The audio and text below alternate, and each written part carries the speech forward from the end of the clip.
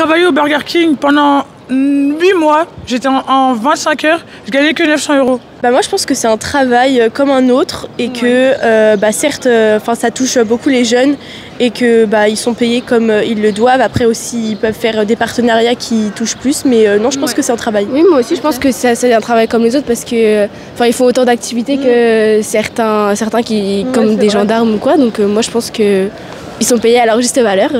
Oui, mais il faut pas râler sur ça, moi, je pense. Bah, en fait, il y a des métiers, euh, par exemple les infirmières, tout ça, euh, qui sont pas rémunérés assez. Donc vrai, euh, c'est pas équilibré quoi. Un travail comme un autre, mais qui demande plus d'investissement, plus de, de prendre plus de risques. Travailler dans un magasin de cosmétiques.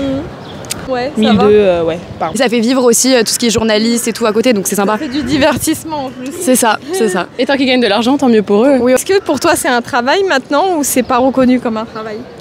Euh, ça peut être un travail, mais c'est limite. D'accord, c'est pas vraiment comme euh, un vrai travail quoi. pour Non, c'est pas comme un vrai travail.